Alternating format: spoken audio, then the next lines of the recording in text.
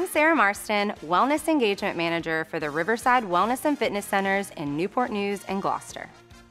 On behalf of Riverside Health System, the event's official health and wellness sponsor, it's my privilege to welcome you to the ninth annual One City Marathon.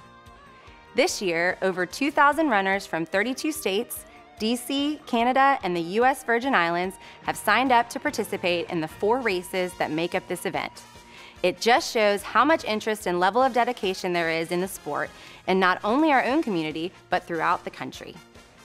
As part of the Wellness and Fitness Center team, I have the privilege to work alongside members and team members who put in the work to achieve their health and fitness goals every day.